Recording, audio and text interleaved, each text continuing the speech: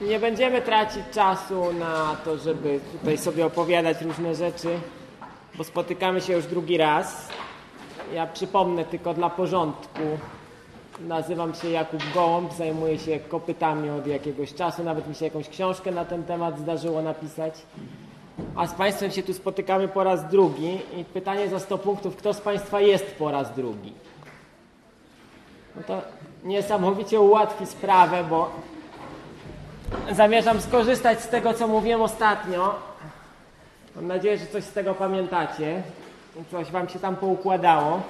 Ja pamiętam z tego tyle, że mam nie machać wskaźnikiem laserowym tak bo Wy nie wiecie wtedy, co pokazuje.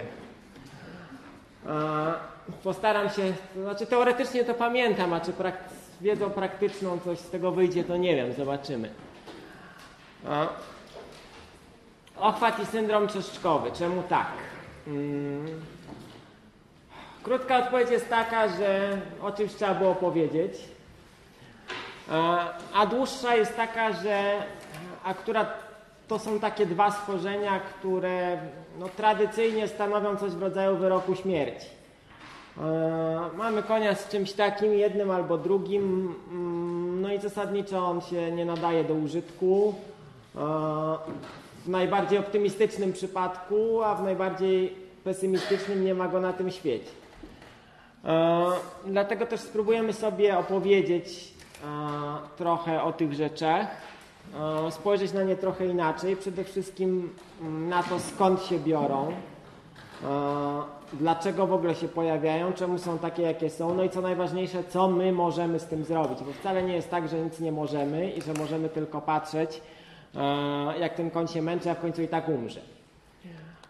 Bo tradycyjne podejście do tych schorzeń najczęściej jest takie, że mm, trzeba coś zrobić, żeby móc konia jak najdłużej użytkować. Jak to się da zrobić, no to dobrze, jak nie, to trudno. W każdym razie prędzej czy później i tak z niego już nic nie będzie. A to wcale niekoniecznie tak musi być. E, Ja będę wracał do tego, co mówiłem ostatnio. Mm, postaram się nie powtarzać za dużo, ale pewne rzeczy będziemy sobie musieli przypomnieć dla porządku. Tak jak mówiliśmy sobie ostatnio, źródła problemów są trzy. Nieodpowiednie żarcie, brak ruchu i niekompetentni ludzie grzebiący w tych kopytach za pomocą ostrych narzędzi. Mm, I którymś z tych trzech źródeł te dwa nasze schorzenia się na pewno zawrą, dlatego będziemy do tego wracać. Zaczniemy sobie od ochwatu, o którym powiemy sobie wyjątkowo dużo, bo to bardzo ciekawa rzecz. Mm. I wbrew pozorom nie taka straszna, jak się wydaje. Jak sobie przeanalizujemy i pobadamy i popatrzymy na kopyta koni, które dziko żyją, okaże się, że bardzo wiele z nich nosi na sobie dające się rozpoznać ślady kiedyś tam przebytego chwatu, który w niczym nie zakłócił ich funkcjonowania. Przez jakiś czas były troszeczkę mniej sprawne, natomiast e, tak jakby nic się nie stało, tylko nie przeżyły funkcjonowały spokojnie i funkcjonowały długie, długie lata po tym, aż w końcu umarły śmiercią całkowicie naturalną z zupełnie innych powodów. Jedynie uważne przyjrzenie się i sekcja takiego kopyta może pokazać, że kiedyś tam doszło w tym kopycie do jakiegoś ochwatu. I wcale nie dzieje się żadna tragedia, tylko nie sobie radzą. Więc no dlaczego w naszych warunkach jest tak, jak jest, o tym postaramy się sobie opowiedzieć. Klasyczny, taki powiedzmy sobie, którego się wszyscy boją, przebieg ochwatu, to wygląda tak, że jest sobie koń, któremu się coś stało, a dzieje się w ochwacie w skrócie, do czego zaraz dojdziemy, coś takiego, że ulega zniszczeniu połączenie tworzywa listewkowatego z rogiem ściennym, w związku z czym puszka kopytowa tak jakby się odrywa. Palec sobie, puszka sobie. Oczywiście jest to niesamowicie bolesne To jest przekrój tego połączenia. Ono ulega całkowitemu zniszczeniu. Jest to oczywiście niesamowicie bolesne. Koń, żeby uciec od tego bólu, usiłuje zdjąć cały ciężar ze ścian kopyta, które są poodrywane. W związku z czym staje najczęściej tak, nie może zrobić kroku. E, no potem dokonuje się różnych magicznych bądź mniej magicznych zabiegów, w wyniku których temu koniowi jest lepiej albo nie jest lepiej, zależy kto się za to zabrał, jak i czemu.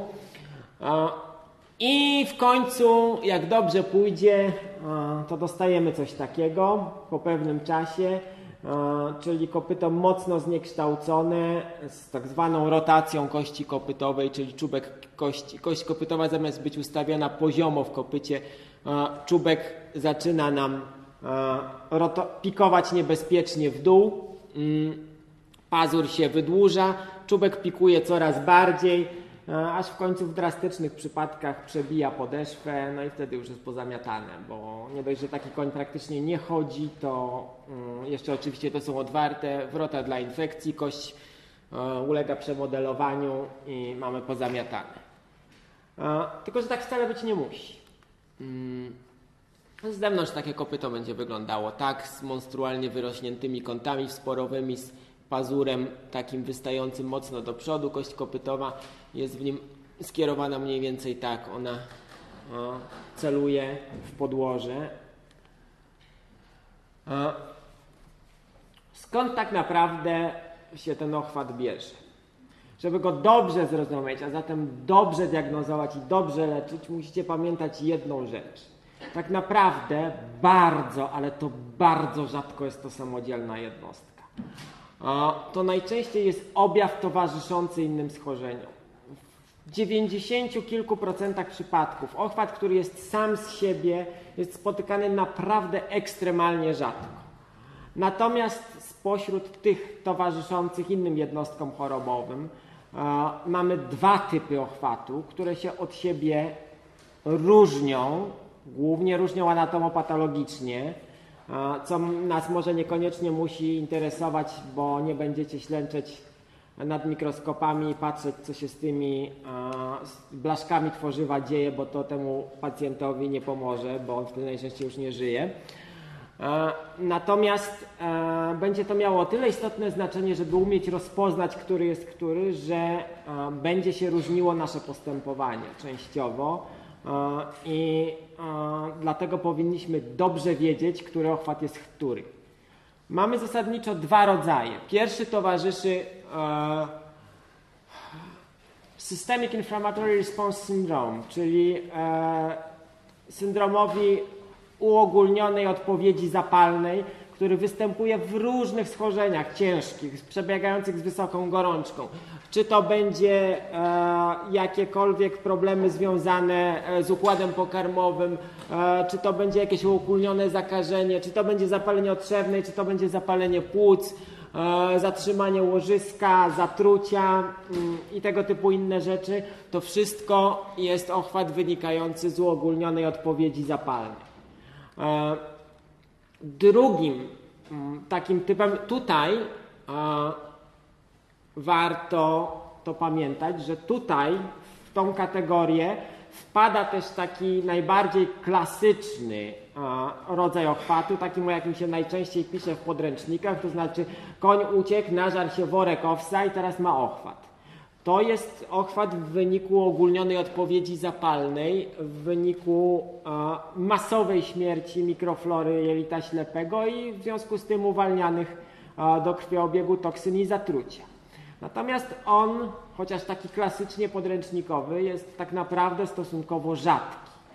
O tym sobie zresztą za chwilę powiem. Drugi rodzaj ochwatu, e, o który zahaczyliśmy poprzednim razem, mówiąc o wpływie insuliny na tworzywo kopytowe, to jest e, ochwat związany z hiperinsulinemią pojawiającą się w przebiegu niektórych schorzeń metabolicznych. E, głównie będzie to dotyczyło e, Equine Metabolical Syndrome, czyli syndromu metabolicznego koni e, i PPID, czyli e, Pituitary Pulse Intermediate Dysfunction, czyli zespołu Cushing'a. Gdybyśmy sobie mieli popatrzeć na częstość występowania ochwatu towarzyszącego jednemu i drugiemu, to okaże się, że ogromna, ale to naprawdę ogromna większość przypadków ochwatu to jest ochwat towarzyszący schorzeniom metabolicznym, czyli albo EMS, albo PPID, bo to razem jest 90% przypadków ochwatu. Ten taki klasyczny z zatrucia, zatrzymania łożyska towarzyszący chorobom zakaźnym i tak dalej, to jest zaledwie 10% przypadków. A wśród tego takie przeładowanie, typowe przeładowanie ziarnem to jest może połowa, czyli w sumie w ogólnej ilości przypadków ochwatu, takich podręcznikowych ochwatów z przeładowania jelita ślepego mm, paszą treściwą, to mamy może 5%, nie więcej.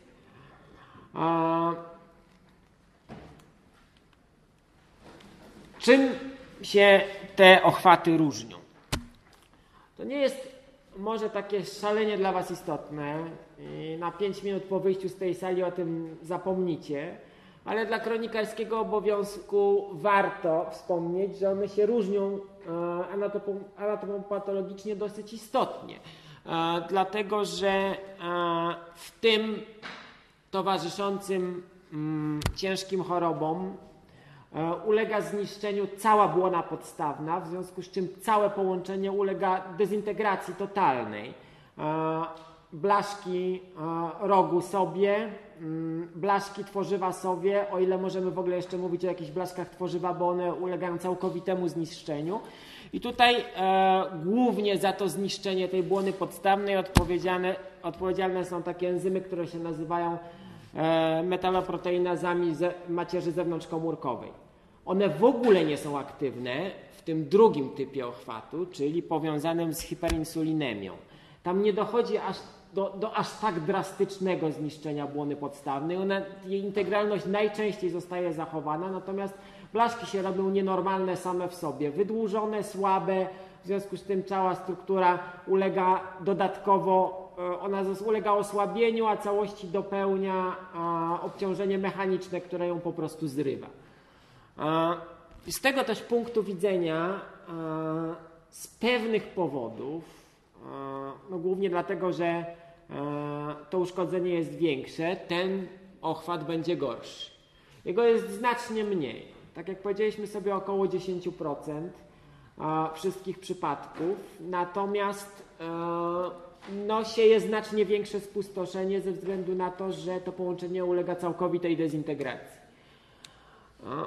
Ten drugi jest go znacznie więcej, natomiast zazwyczaj będzie przebiegał łagodniej, ochwat sam jako taki. Natomiast nie wolno zapomnieć o tym, i to, do tego cały czas będę wracał uparcie, że to ochwat jest objawem towarzyszącym tym schorzeniom. I dopóki sobie nie poradzimy z tymi schorzeniami, to walka z pojedynczym epizodem ochwatu nic nie da.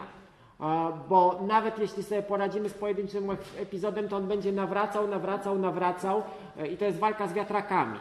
Musimy sobie poradzić e, z głównym schorzeniem, a o wiele trudniej jest sobie poradzić z istniejącym schorzeniem metabolicznym, niż z jakimś pojedynczym epizodem mm, na przykład choroby zakaźnej występującej z wysoką gorączką, którą jak zwalczymy, no to zwalczymy i koniec.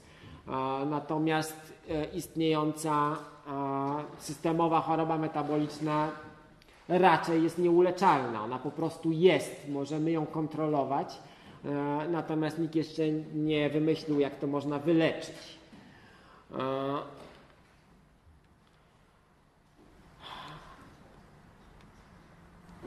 W związku z tym słów parę o jeszcze raz dla przypomnienia. Mówiliśmy o tym ostatnio, e, mm, ale pozwolę sobie powtórzyć najważniejsze rzeczy, żeby to było jasne. E, bo 90% przypadków pochwatu to jest to. E, z tego mm, dwie trzecie ponad stanowi syndrom metaboliczny koni. Tego jest naprawdę bardzo, ale to bardzo dużo. I o tym sobie musimy powiedzieć jeszcze raz, a jak będzie trzeba, to jeszcze drugi raz i jeszcze piąty i jeszcze dziesiąty. Dlaczego? Dlatego, że syndrom metaboliczny koni jest słabo znany, przynajmniej u nas, w cywilizowanym świecie to się na szczęście diagnozuje. W związku z tym jest słabo diagnozowany i nikt nie ma o tym pojęcia. I co z tego, że będziemy leczyć jakiś tam ochwat, jak przy istniejącym syndromie metabolicznym to jest walka z wiatrakami, nic nam to nie da. Dlatego da przypomnienia. Musicie pamiętać, że konie przez miliony lat funkcjonowały w środowisku stepowym, gdzie dostępność węglowodanów w tym, co jedzą, mm, jest ogólnie mówiąc średnia. W związku z czym mm, poziomy insuliny osiągane po posiłku są zawsze bardzo, ale to bardzo niskie. Natomiast w momencie, kiedy wprowadziliśmy w hodowli pasze treściwe i przetransportowaliśmy konia do innych stref klimatycznych, gdzie trawa jest nieco bardziej zielona, to się pojawił problem, dlatego że e, koń jako taki nie radzi sobie z wysokimi poziomami insuliny kompletnie i one bardzo szybko prowadzą do różnych brzydkich rzeczy. Mówiliśmy sobie ostatnio, to jest nawet ten sam slajd, że żeby doszło do zmian w, w blaszkach tworzywa, do zmian, które są już do wykrycia mikroskopowo, degeneracyjnych, wystarczy przekroczenie poziomu 100 e, mikrojednostek insuliny na mililitr. To wcale nie jest dużo. E, biorąc pod uwagę, tutaj mamy wykres e, koni karmionych różnymi rzeczami, biorąc pod uwagę, że ten graniczny poziom 100 mikrojednostek na mililitr jest osiągany już przy mm, z tego co pamiętam 0,8 grama skrobi na kilogram masa, masy ciała konia. Co, tak jak powiedzieliśmy sobie po przeliczeniu, daje nam około kilograma owsa na konia o masie 500 kg. To już wystarczy, żeby zaczęło ulegać uszkodzeniu tworzywom. To wcale nie znaczy, że jak będzie troszeczkę niżej, to będzie dobrze. To nadal nie będzie dobrze, dlatego że takie wysokie poziomy w naturze po, poziom insuliny rzadko przekracza 30-40 mikrojednostek na mililitr. Jeśli my go będziemy systematycznie przekraczać, no to niestety dojdzie do czegoś takiego, że zmniejszy nam się wrażliwość receptorów, a w związku z tym zmniejszy nam się wrażliwość komórek na insulinę. Jeśli zmniejszy nam się wrażliwość komórek na insulinę, no to zaczyna nam się problem znany jako syndrom metaboliczny koni, bo żeby komórki mogły pobrać glukozę i z niej skorzystać, musi zostać wydzielone więcej insuliny, a zatem e, poziomy insuliny się podnoszą. No i pojawia nam się problem, bo e, nie dość, że mamy coraz wyższe poziomy insuliny po to, żeby glukoza mogła zostać wchłonięta, to jeszcze no, zaczynamy mieć chroniczny problem z kopytami, bo te poziomy zaczynają łatwo przekraczać w związku z tym 100 mikrojednostek insuliny na mililitr i pojawia nam się w zasadzie ciągły stan ochwatowy, który anglosasi sobie nazywali, nazwali LGL, czyli Low Grade Laminitis. Taki niskiego stopnia ochwat, powiedzmy sobie, niskiego stopnia a, tak jak ktoś to dowcipnie zauważył, to jest taki ochwat, którego nikt nie zauważył oprócz konia. A, bo jedyny objaw, jaki mamy, to koń ma pewien problem z chodzeniem po twardych podłożach i to wszystko. Nie dochodzi do jakiegoś poważnego uszkodzenia tego połączenia, nie dochodzi do jego całkowitego zniszczenia. Koń się może ruszać, może w miarę normalnie funkcjonować. Jedynym objawem jest to, że ma pewien problem z poruszaniem się po twardych podłożach. Oczywiście to będzie narastać, jeśli e, nie będziemy starać się tego schorzenia metabolicznego ogarniać, no to będziemy mieć coraz większe poziomy insuliny e, i w końcu one się zamanifestują nam na kopytach. Dostaniemy kopyta, które zamiast być gładkie są mm, po ciachane takimi obrączkami. Każda taka obrączka to jest epizod ochwatowy, mikroepizod ochwatowy, taki, który nie zakończył się całą tą kaskadą same, przed paru slajdów wcześniej, gdzie dostajemy takie dziwne kopyto i konia, który nie może chodzić.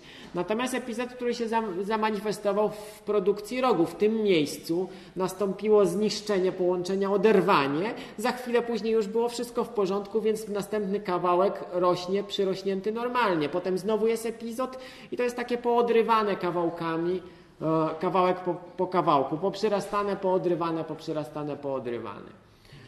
A co na to wpływa? Skąd się bierze ten nieszczęsny syndrom metaboliczny? Główne, e, w zasadzie 80% tego, skąd to się nam bierze, e, skąd możemy dostać hiperinsulinemię, to jest syndrom metaboliczny, a on się bierze z tych trzech rzeczy. Czyli z diety bogatej w e, węglowodany niestrukturalne, a w związku z tym z otyłości E, no i z braku ruchu, bo otyłości bierze się tak samo z braku ruchu. E, dwie rzeczy w związku z tym, mm, jeśli ma tego syndromu metabolicznego nie być. To jest odpowiednie żywienie. Cywilizowany świat już dawno doszedł do wniosku, że koni się ziarnem nie żywi. Jak będziemy żywić ziarnem tak jak w średniowieczu, to będziemy mieli syndrom metaboliczny i będziemy go mieli tyle, ile go mamy, czyli Całkiem, ale to całkiem sporo. To jest pierwsza rzecz. Druga rzecz e, to jest otyłość. Konie są systematycznie przekarmiane w stosunku do pracy, jakiej wykonują. Zauważcie, że e, w naturalnym środowisku koń, e, żrąc te suche badyle na stepie, przemierza mniej więcej 35 km na dobę. Mało który z naszych koni jest poddawany takiemu wysiłkowi, a żrą wielokrotnie więcej, o wiele bardziej energetycznych rzeczy. Otyłość sprzyja schorzeniom metabolicznym, sprzyja głównie insulinooporności, która będzie prowadzić do podwyższonych poziomów insuliny, żeby można było prowadzić dalej jeszcze jakąś sensowną gospodarkę cukrową. Jak e, w 2010 roku Brytyjczycy sobie zrobili badania, ile mają koni otyłych, mm, pozostających w rękach prywatnych, nazwijmy to koni rekreacyjnych, to im wyszło, że jest tego pomiędzy 75 a 80%. To jest tragiczna liczba, moi drodzy.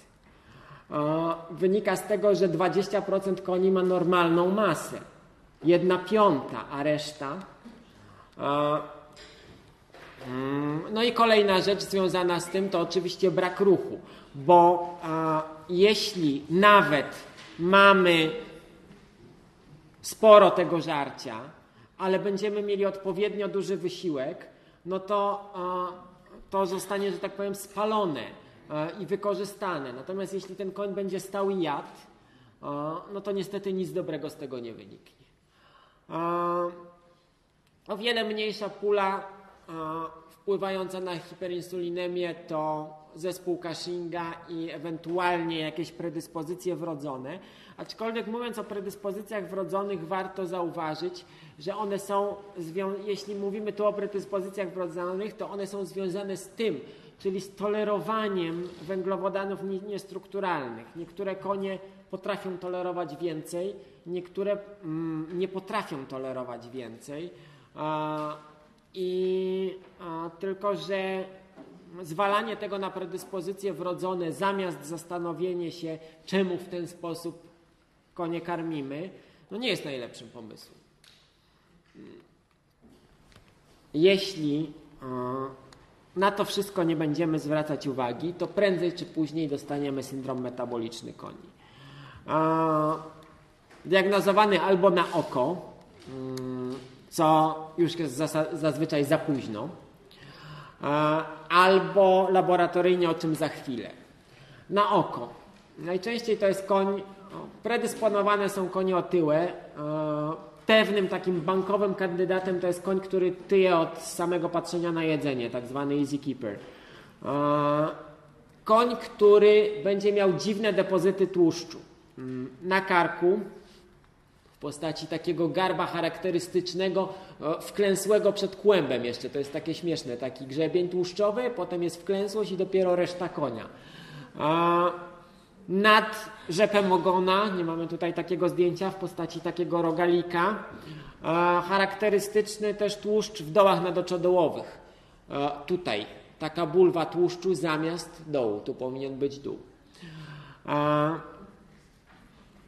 Charakterystyczne y, będzie również upośledzenie motoryki związane z tym, że no, kopyta są mocno upośledzone e, przez e, wysokie poziomy insuliny, w związku z czym to będzie koń, który nie będzie komfortowo chodził e, po, no, na początku twardych podłożach, później po wszystkich.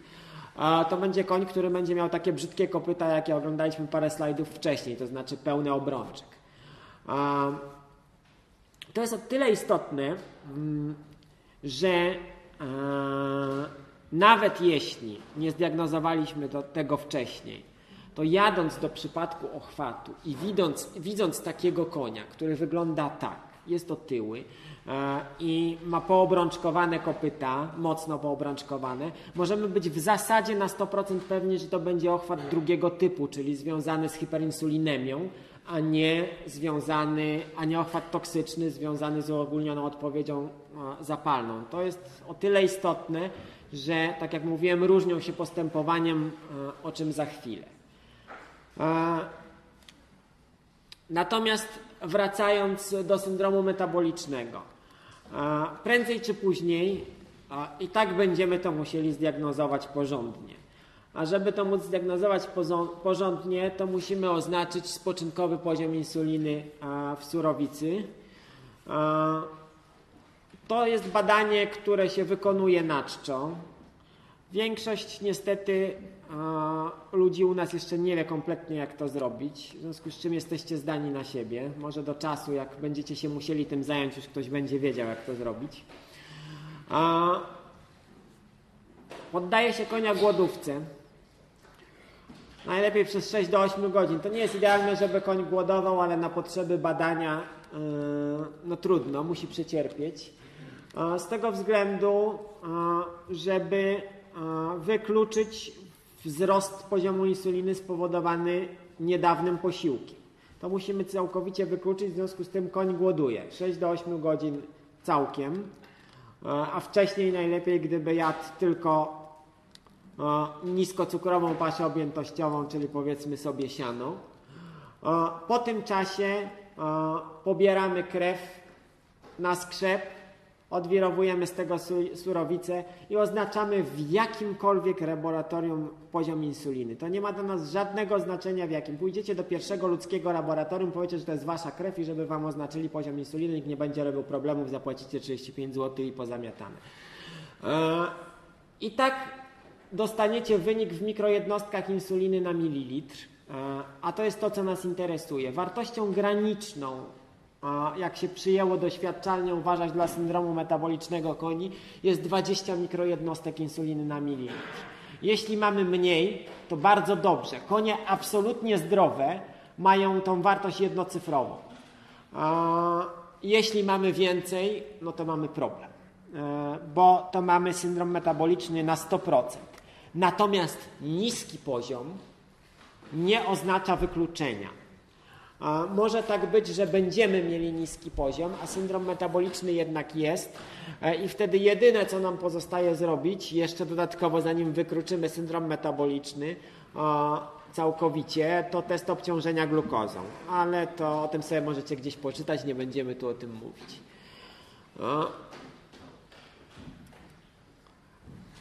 Dla przypomnienia też jeszcze slajd e, z ostatniego wykładu. Zauważcie, jak różna jest odpowiedź e, insulinowa u koni zdrowych i u koni z syndromem metabolicznym, które jedzą to samo. E, zobaczcie, to są konie zdrowe, to są konie, które są insulinooporne, czyli z syndromem metabolicznym. Tutaj mamy poziom insuliny, tutaj zdrowe jedzące e, trawę i siano i z syndromem metabolicznym jedzące trawę i siano. Dokładnie tą samą. Tutaj poziomy insuliny nie przekraczają e, kilkunastu mikrojednostek na mililitr. Tu zaczynają przekraczać e, sporo 20. nie mówiąc o, to taka typowa objętościówka, nie mówiąc o innych rzeczach, tam potem zaczyna być to coraz to coraz gorzej. Pamiętajcie, że jeśli będziecie mieli do czynienia, to o tym mówiliśmy ostatnio, że ze sterydami to w ogóle lepiej uważać, ze względu na to, jaki mają wpływ na kopyta, przez to, jak wpływają na poziom insuliny. Natomiast szczególnie niebezpieczne są koni z syndromem metabolicznym. Zauważcie, że po podaniu 20 mg deksametazonu insulina skacze u konia e, z syndromem metabolicznym do wartości 844 mikrojednostki na mililitr, co jest w ogóle wartością z kosmosu. Po takiej ilości kopyta już się nie podniosą. To nie ma najmniejszych szans. To jest taki ochwat e, z hiperinsulinemi, że trudno o gorszy. No ale dobrze. Tyle tego przypominania, skąd to się bierze. Mm. Przyjeżdżamy do stajni, bo koń się nie rusza, nie chce wyjść z boksu i trafiamy na taki obrazek. Charakterystyczna postawa przy ochwacie, tak jak powiedzieliśmy sobie, koń stara się odciążyć ściany, ponieważ tam jest wszystko pozrywane. Nie chce zrobić kroku najczęściej, bo go to wszystko strasznie boli. I co wtedy?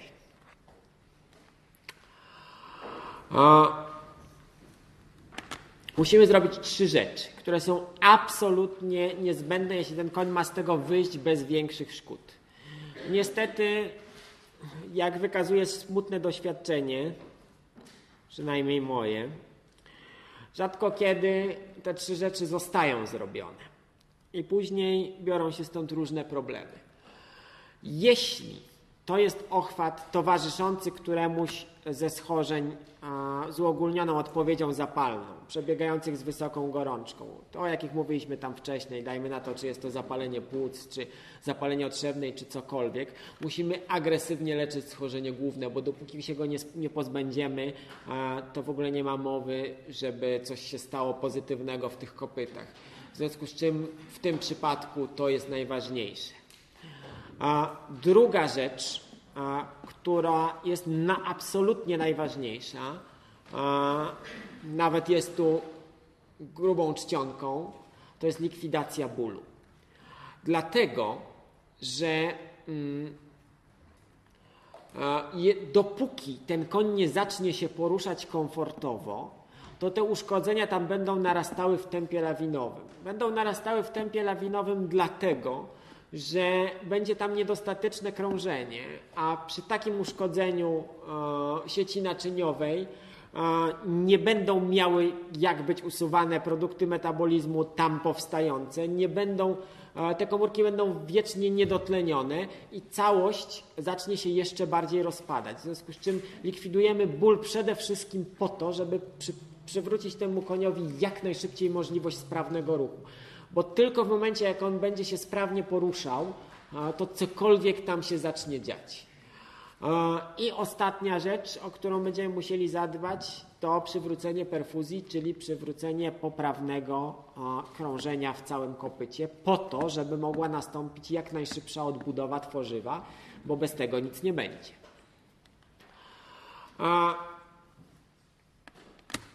Jeśli mamy do czynienia z ochwatem, mm, który towarzyszy e, uogólnionej odpowiedzi zapalnej. To jest zaledwie, tak jak powiedzieliśmy sobie, 10% ochwatów, ale to jest niezmiernie istotne i tego nie wolno zaniedbać. To się wydaje, że to jest taka stara ludowa medycyna, ale zaraz Wam coś pokażę.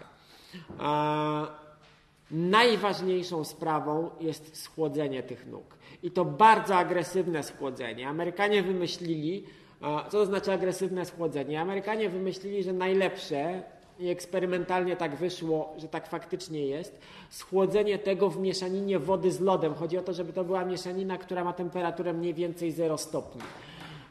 I chłodzenie tego agresywne. Co to znaczy agresywne? To znaczy koń ma w tym stać tak długo, aż mu nie przejdzie, przy czym pojedyncza sesja może wynosić aż 72 godziny.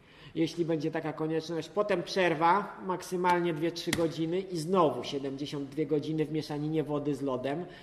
Bez przerwy oczywiście dorzucany do tego lód, żeby nie wzrosła temperatura. Wiem, że to jest ciężkie do przeprowadzenia, trudne, wymaga dużo poświęcenia ze strony właściciela, głównie, bo to on będzie musiał o to zadbać. Natomiast to jest w stanie potem zaoszczędzić lata problemów, naprawdę lata. Zauważcie, to w zeszłym, nie, już dwa lata temu, w 2012 mm, na takiej konferencji w Stanach te wyniki były przedstawione, jak to chłodzenie wpływa na to, co się dzieje z blaszkami.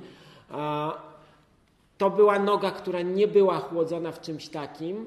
To była noga, w sensie połączenie e, rogu z blaszkami tworzywa, która była chłodzona przez 36 godzin. Zauważcie, że tutaj się nic nie stało. Tutaj połączenie blaszki rogu, blaszki tworzywa uległy całkowitemu zniszczeniu. A była tylko taka różnica. E, tutaj były 36 godzin chłodzone w temperaturze 0 stopni, e, tu nie było robione nic. Reszta postępowanie było standardowe, takie samo. Dzięki temu schłodzeniu e, w zasadzie osiągamy trzy efekty. E, po pierwsze, e, skurcz naczyń. Pamiętajcie, że to jest ochwat, który wynika z toksycznego działania substancji, które dostają się do tworzywa, więc jeśli obkurczymy naczynia, to będzie się ich tam dostawało znacznie mniej. To pierwsza rzecz. Druga rzecz, no to niska temperatura będzie nam hamowała reakcję zapalną. A trzecia rzecz, to obniżymy tempo metabolizmu komórek tworzywa, a zatem one będą wolniej metabolizowały jakiekolwiek świństwo tam się dostało i w ten sposób uchronimy je przed zniszczeniem. Naprawdę różnice są olbrzymie, więc jeśli jesteśmy przekonani, że mamy do czynienia z takim ochwatem, to to jest najważniejsza rzecz, jaką możemy zrobić. Nic ważniejszego nie ma. Natomiast takie schłodzenie absolutnie nic nie daje w przypadku e, ochwatu wynikającego z hiperinsulinemii czyli tego związanego najczęściej ze schorzeniami metabolicznymi. Czy schłodzimy taką nogę przy takim ochwacie, czy jej nie schłodzimy, nie ma to żadnego znaczenia. E, nic się nie stanie. Możemy ją schłodzić, jeśli nie jesteśmy pewni. Dostarczymy tylko mnóstwo roboty właścicielowi, natomiast efekt będzie taki, jaki będzie, czyli żaden. Mm, natomiast w przypadku ochwatu toksycznego to jest naprawdę najważniejsza rzecz. Chłodzimy tak długo, aż e, ustąpią nam e, całkowicie objawy, a nawet niektórzy zalecają 24 e, godziny dłużej, czyli jeszcze przedłużyć po 24 godziny po, ustąpieniu objawów. A głównie mówimy to o objawach bólowych, prawda, bo takie mamy. Oczywiście cały czas agresywnie leczymy istniejące w tym przypadku schorzenie pierwotne, cokolwiek to jest. Mamy zapalenie płuc, potrzebujemy wejść z jakimiś antybiotykami, to wchodzimy i leczymy, bo to nam musi zniknąć. Dopóki tego to będziemy mieli, no to niestety szansa, że ten ochwat nam wróci, no będzie. E, druga rzecz, jaką musimy zrobić, to zlikwidować ból. Skąd on się bierze?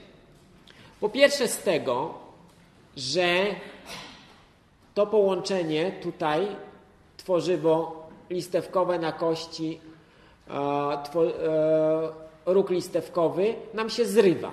W związku z czym kość kopytowa tak jakby siada w całym kopycie, a właściwie cały koń siada w kopycie i cały ciężar zostaje przeniesiony na podeszwę, a w zasadzie dzieje się tak, że tworzywo podeszwy jest miażdżone między kością kopytową a rogiem podeszwy, no bo ciśnie na nie cały ciężar konia.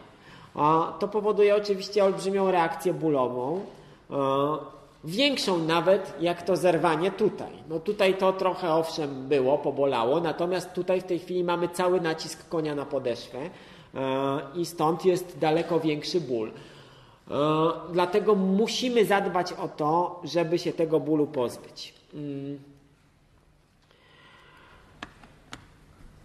Najważniejsze będzie w związku z tym zabezpieczenie tego miejsca, w którym on się koncentruje, czyli podeszwy. E, czyli po pierwsze odpowiednie podłoże, po drugie mm, i albo w zależności od różnych uwarunkowań, o których za chwilę, ochrona tych kopyt. Albo prowizoryczna, klejonymi wkładkami bezpośrednio na podeszwę. Z czego one będą?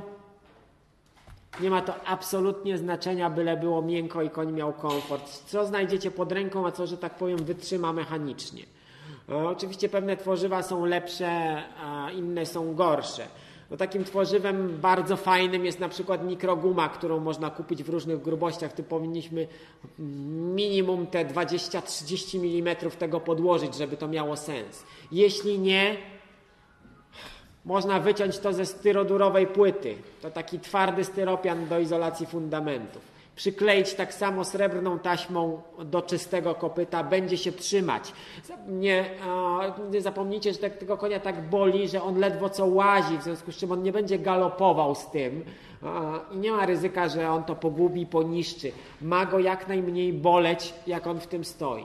Plus ewentualnie, bądź jeśli nie ma absolutnie żadnej możliwości założenia czegoś takiego natychmiast, to miękkie podłoże. Ideałem byłby torf i to dość dużej miąższości, tak 20-30 cm, albo bardzo drobny żwir. To też jest bardzo dobre podłoże, one wbrew pozorom jest miękkie, bo koń się w nim zapada. I jednocześnie bardzo ładnie się dopasowuje do podeszwy i nie jest mokre, bo też nie powinno być mokre. To jest taka pierwsza rzecz, którą musimy zrobić, i wtedy dopiero, jeśli to jest zapewnione, możemy ewentualnie wejść z farmakologią.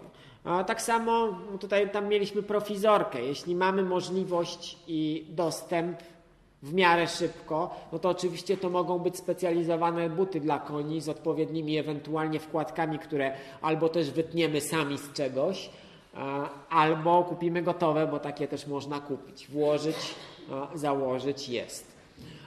I dopiero wtedy możemy wejść z farmakologią. Środkiem z wyboru e, będzie fenylbutazon e, w stosunkowo niewielkich dawkach, a mianowicie takich.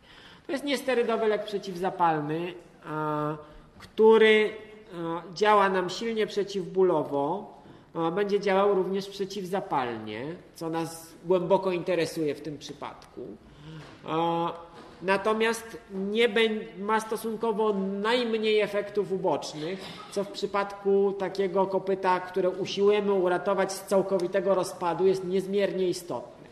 Pamiętajcie, że jeśli ta dawka nie wystarcza, żeby ten koń zaczął się ruszać komfortowo, to znaczy, że tu jest błąd i musimy popracować nad tym, a nie nad dawką, bo wyższe dawki e, fenylbutazonu nic nie dają, a zaczynają działać toksycznie, w związku z czym naprawdę nie warto próbować. Wypróbowali to już przed Wami z niefajnym skutkiem, więc nie warto wymyślać koła ponownie. Jeśli takie dawki nie działają, to mówię, zdecydowanie trzeba coś zrobić za wszelką cenę z podłożem. Czy to z tymi wkładkami, czy to z jakimkolwiek podłożem gdzieś tam, na którym ten koń jest. Pamiętajcie, że najgorszą rzeczą, jaką można z takim koniem zrobić, to jest go unieruchomić, czytaj zamknąć w boksie. My musimy wszystkie nasze działania dążą do tego, żeby go postawić na nogi tak szybko, jak to, jak to możliwe, żeby on się zaczął ruszyć. A pamiętajcie, że tutaj dodatkowo dochodzi jeszcze jeden czynnik, a mianowicie a zamknięcie w boksie konia, który jest chory i którego bo, boli, jest dla niego stresem. Dlatego, że oddzielenie od stada w naturze dla konia, oznacza konia w dodatku chorego, który cierpi, jest dla niego wyrokiem śmierci, bo zaraz go coś zje. W związku z czym dostajemy ładną odpowiedź stresową, która wiąże się między innymi z podwyższonymi poziomami, poziomami insuliny, czyli jeszcze nam się doładuje do tych nieszczęsnych kopyt, które i tak już nie ma tam prawie co zbierać. Jeszcze nam się doładuje hiperinsulinemia, która tam, nam ten ochwat jeszcze pogorszy. Więc e, absolutnie nie. Nie tylko z tego powodu, że koń ma, musi się ruszać, ale też z tego powodu, że musi mieć jakiekolwiek towarzystwo. Jeśli nie ma chwilowo takiej możliwości, żeby on wyszedł, no bo on kroku nie zrobi, więc stoi na tej super miękkiej ściółce w boksie, nie wiem, na tym torfie czy na czymkolwiek, to wpuścić mu tam cokolwiek do tego boksu, jakiegokolwiek innego konia, z którym on będzie mógł tam postać. To naprawdę pomaga e, w tego typu przypadkach. E, tak jak powiedzieliśmy sobie, e, ulega poważnemu zniszczeniu całe unaczynienie tworzywa i to jest największy problem, z jakim się spotykamy. W związku z czym, jak tylko poradzimy sobie z bólem, warto by się dowiedzieć, co się stało z unaczynieniem tego kopyta i ile nam pozostało do uratowania, a ile jest stracone.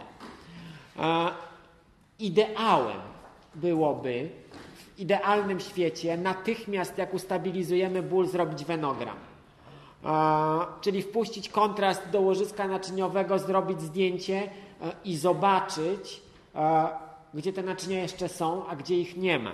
Zobaczcie, tu mamy taki wenogram. E, strzałkami jest zaznaczone, zobaczcie, po lewej stronie tego kopyta naczynia się wypełniły jak najbardziej kontrastem, po prawej stronie się nie wypełniły, bo ich tam nie ma. One uległy całkowitemu zniszczeniu. To jest o tyle istotne, że wenogram nam powie po pierwsze, co mamy powiedzieć właścicielowi, z czym on musi się liczyć, bo wiadomo oczywiście, że im większemu uszkodzeniu uległo łożysko naczyniowe, tym rokowanie jest gorsze, bo możliwość regeneracji jest ograniczona.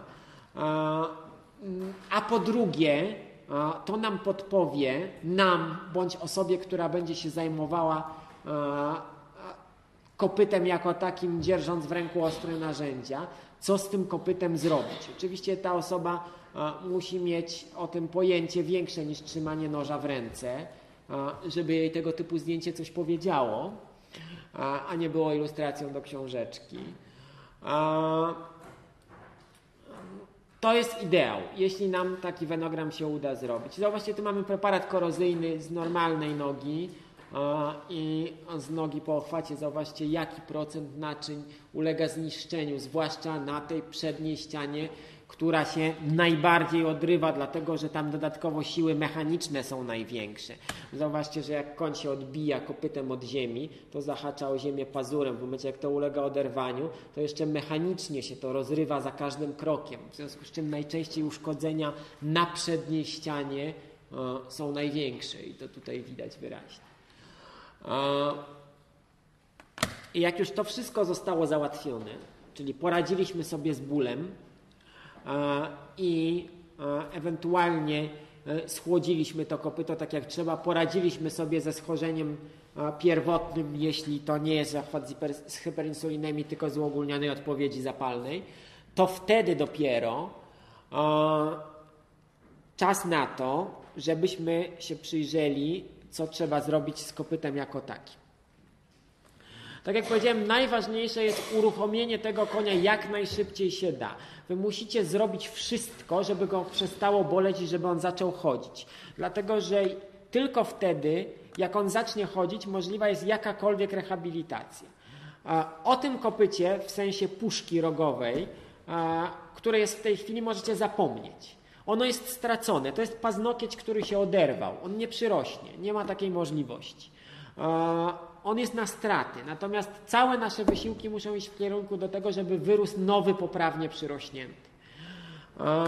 A to jest możliwe tylko wtedy, kiedy koń będzie chodził, bo tylko wtedy, kiedy będzie chodził, to jesteśmy w stanie dostać poprawną perfuzję, czyli e, wypełnienie tkanek krwią, a zatem odpowiednie odżywienie tworzywa, żeby ono mogło produkować jakikolwiek sensowny ruch. To jest najczęstsza przyczyna niepowodzeń i przewlekłych ochwatów i różnych tego typu dziwnych rzeczy. To, że koń nie chodzi. Jak nie chodzi, to perfuzja jest żadna, w związku z czym ukrwienie tworzywa jest żadne, a w związku z czym róg, który narasta, jest do niczego, w związku z czym narasta coraz gorszy i wpadamy w błędne koło. Dlatego najważniejszą rzeczą po tym, jak już to opanowaliśmy, jest, żeby ten koń chodził jak najwięcej ale tylko z własnej woli, nie można go do tego zmuszać. On ma mieć możliwość chodzenia, można go do tego prowokować i nawet powinniśmy go do tego prowokować, na przykład umieszczając mu poidło z dala od żarcia albo siano w kilku różnych miejscach, natomiast nie wolno go absolutnie do tego zmuszać, dlatego że jeśli zmusimy go do ruchu, to możliwość uszkodzenia nowego wzrostu jest gigantyczna, bo wystarczy, że koń postawi nogę nie tak jak trzeba, bo my go pociągniemy, a cały nowy wzrost ulegnie zerwaniu, bo jest go bardzo niewiele. Natomiast jeśli chodzi o samą puszkę, to musimy się skoncentrować na tym, żeby nie dopuścić do sytuacji, gdzie ściany wyrastające ponad podeszwę doprowadzą nam do powstania jakiejkolwiek dźwigni, która mogłaby spowodować odrywanie tej ściany mechaniczne od tworzywa. Ona i tak została zerwana. Ona teraz zaczyna wzrastać poprawnie przyrośnięta od korony w dół, pomalutku. Dzień w dzień zaczyna wzrastać. Jeśli będziemy mieli dźwignię, to taki milimetrowy wzrost naty ulegnie natychmiastowego mechanicznemu rozerwaniu i nigdy to się nie zrehabilituje. W związku z czym tego typu sytuacji absolutnie musimy unikać. To musi być wszystko przez człowieka, który ma o tym pojęcie, zostać ucinane na krótko, tak żeby nie było jakiejkolwiek dźwigni. Ideałem jest, jak mamy wenogram. Wtedy, w tych miejscach, gdzie widać, że nie ma perfuzji, bo łożysko naczyniowe uległo całkowitemu zniszczeniu. W tych miejscach ściana powinna zostać całkowicie zabrana z kontaktu z podłożem, dlatego że nie może być na nią jak, żadnego ucisku. Tam jest wszystko pozrywane i nie ma prawa być żadnych obciążeń mechanicznych, żeby nowy wzrost, który tam powstanie, całkowicie nowy, się nie odrywał. E, jeśli nie ma możliwości zrobienia wenogramu, to powinniśmy takiego konia, albo właściwie my, wy, czy człowiek, który będzie się tymi kopytami dalej zajmował, e, obejrzeć, jak wygląda wzrost po dwóch, trzech tygodniach od tego ostrego epizodu ochwatu. E, I w miejscach, gdzie widać, że ten wzrost jest mniejszy, bo to będzie taki pierścionek na górze. Zobaczcie, to jest kopyto jakiś czas po ochwacie, e, widać, że od góry jest nowy wzrost, zupełnie nowy wzrost. Tu jest przekrój, przez, oczywiście nie ten przypadek, tylko analogiczny. Widać, że tutaj zrasta róg poprawnie przyrośnięty do kości, a ta całość jest oderwana. I tu mamy nowy wzrost, i tu jest taki schodek, e, i to jest ta, ten stary róg, który jest na straty, bo on i tak się oderwał w trakcie ostrego epizodu ochwatu. Mamy taki wzrost. I teraz jeśli nie mamy możliwości wykonania wenogramu, to trzeba przeanalizować, czy on jest równomierny.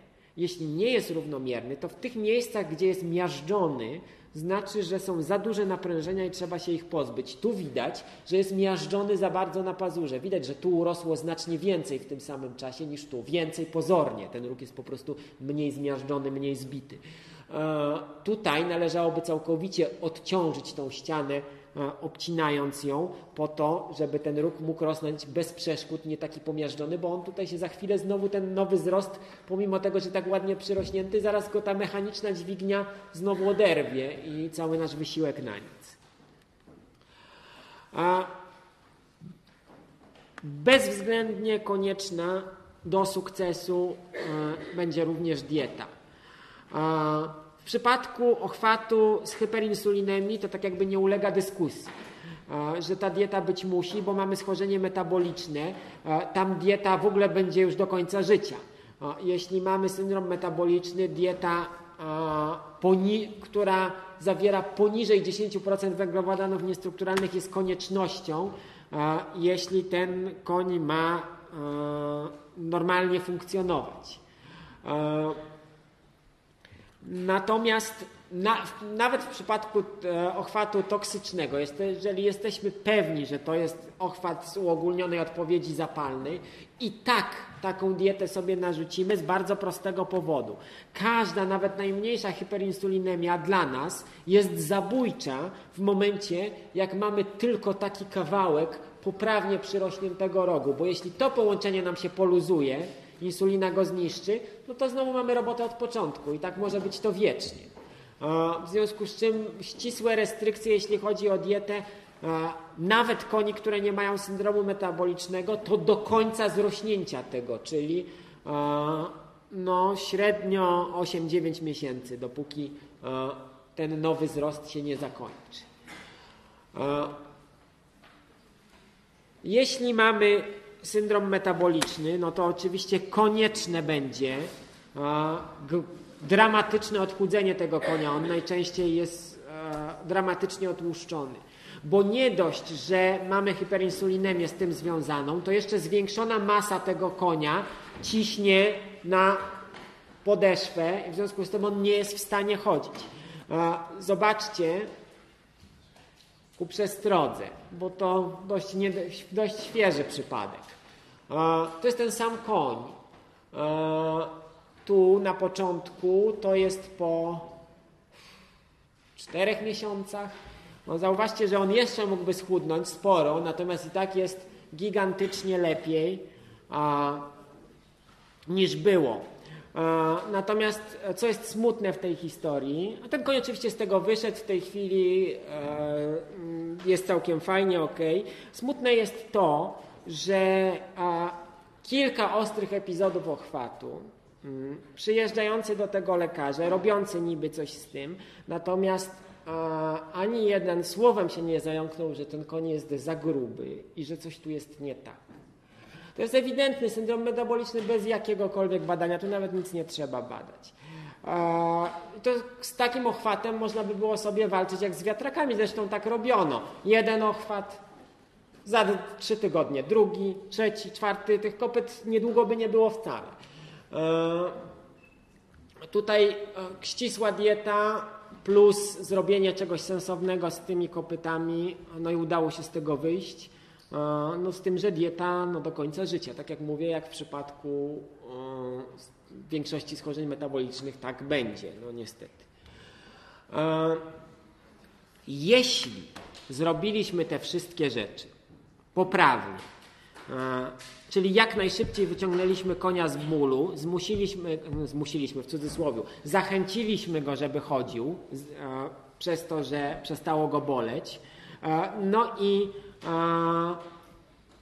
zrobiliśmy odpowiednie rzeczy z tymi kopytami, to to w zasadzie jest koniec.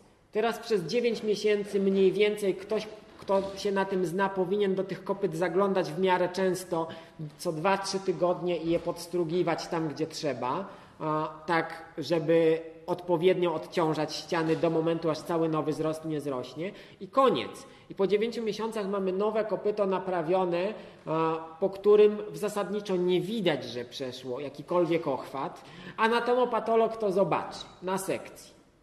Ale na pierwszy rzut oka tego nie widać. Jeśli wszystko zrobiliśmy dobrze. Natomiast jeśli nie zrobiliśmy czegoś dobrze, no to dochowamy się, do, robimy się czegoś, co zwykło się nazywać ochwatem przewlekłym, czyli tego typu sytuacji. Konia z takimi nartami, a, przepraszam, bo coś mi tu przeskoczyło. Konia z takimi nartami, który ledwo stoi, mm, czasem może chodzi, ale przez większość czasu stoi, a może nawet leży. I w zasadzie to tak trwa, trwa, trwa i nic z tego nie wynika jak się na to patrzy, to najbardziej humanitarną rzeczą wydawałoby się, żeby tego konia uśpić, no bo on się tylko męczy. Skąd to się bierze? Jeśli nie zadbamy o to, żeby odciążyć ściany w momencie tam, gdzie jest ich ucisk i zlikwidować ból, to ten koń będzie nam stał w takiej ochwatowej postawie z nogami do przodu. Efekt będzie taki, że nie dość, że cały czas jest najbardziej odrywana i niszczona ściana na pazurze, to jeszcze będą bardzo obciążane kąty wsporowe, bo koń większą część masy przenosi swojej na kąty wsporowe, stojąc tak. Efekt jest taki, że jak popatrzymy po parunastu tygodniach, bo to się dzieje bardzo szybko, wbrew pozorom, na takie kopyto, to okaże się, że w przeciągu tego samego czasu tyle rogu przyrosło na pazurze, a aż tyle na kątach wsporowych. E, oczywiście tutaj dlatego, że on jest miażdżony, odrywany i tak dalej, a tutaj dlatego, że on jest nadmiernie obciążany. Róg tak jak mówiliśmy sobie ostatnio, żywy róg, który został w jakikolwiek sposób podrażniony, reaguje gwałtownym wzrostem. Tutaj jest dokładnie tak samo. On reaguje gwałtownym wzrostem, broniąc się przed takim obciążeniem. I dostajemy takie kopytko, w którym dochodzi do czegoś, co ktoś inteligentnie, albo raczej mało inteligentnie, nazwał rotacją kości kopytowej. Co to jest? Ano, jak mamy na zdjęciu rentgenowskim, coś takiego. Kość kopytowa zaczyna kierować się czubkiem w kierunku podłoża. Jako kąt rotacji określamy kąt pomiędzy ścianą przednią a powierzchnią mm, przednią kości kopytowej. Tyle tylko, że do żadnej rotacji tak naprawdę tu nie dochodzi. Kość nie ma gdzie zrotować. Tam nie ma pustych przestrzeni w kopycie. Teorie, że ciągnie ją zginać głęboki są bzdurne, ponieważ e, antagonistą jest prostownik wspólny palcowy, który działa równie sprawnie i nie ma żadnego powodu, dla którego zginacz miałby być silniejszy. Poza tym tam jest strzałka gąbczasta i różne inne struktury, więc to się nie ma gdzie podziać. Co się dzieje? Oderwał się paznokieć. On i tak jest nieistotny. Tak jak powiedzieliśmy, on jest stracony, bo on już nie przyrośnie.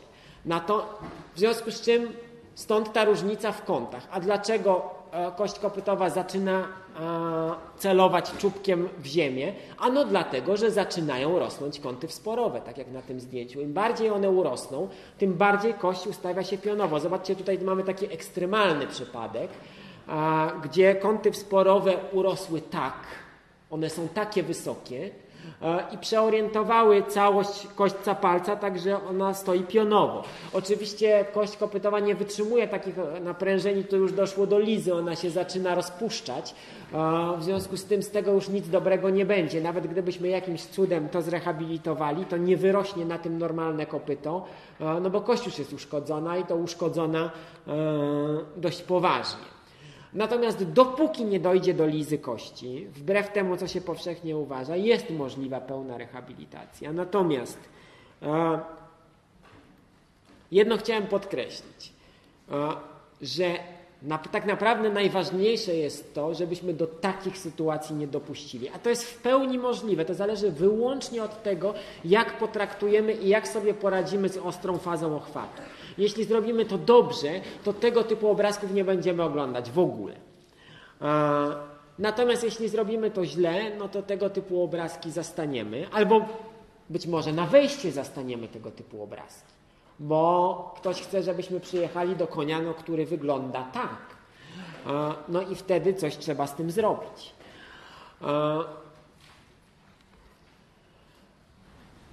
W, że tak powiem, terminalnym przypadku oczywiście kość kopytowa e, w takim ustawieniu przebije nam w końcu podeszwę, e, bo tutaj są takie naprężenia, ona się tam zaczyna zapadać w tą podeszwę, tak jak tu. E, no i wtedy najczę najczęściej już mamy naprawdę pozamiatane, no dlatego, że tutaj bardzo szybko dojdzie do infekcji, zostanie zniszczone tworzywo na kości, no i sama kość ulegnie uszkodzeniu, nie ma praktycznie co zbierać. Taki koń zresztą najczęściej już nie chodzi. Wyjątkiem, o czym warto pamiętać i zwrócić na to uwagę, bo to niestety jest plaga tego typu przypadków i nawet tego, są kucyki. E, dlatego, że ten koń jest na tyle lekki, że jest w stanie wytrzymać ból związany z chodzeniem na czymś takim. Koń o masie 500 kg by nie wstał. Po prostu nie jest w stanie fizycznie znieść takiego bólu. Natomiast kucyk jest lekki. E, I kucyk nawet pomimo tak poważnych uszkodzeń będzie stał, będzie chodził. To jest jedna rzecz. Druga rzecz, e, Kucyki są bardzo często traktowane po macoszemu, a to taka tam gdzieś zabawka dla dzieci albo atrakcja w mini zoo, w związku z tym nikt się tym kucykiem specjalnie nie przejmuje i nikt się nie zainteresuje, jak wyglądają jego kopyta do momentu, e, aż on nie przestanie chodzić. Ja tak jak mówię, najczęściej nie przestaje. Dlatego z kucykami jest problem. Natomiast nawet ta, tego typu rotacje, czyli dość poważną, jesteśmy w stanie w pełni opanować, jeśli do tego podejdziemy z rozsądkiem, czyli zastanowimy się, co tu tak naprawdę się stało i co jest ważne. Ważne jest to samo, co było ważne w ostrej fazie.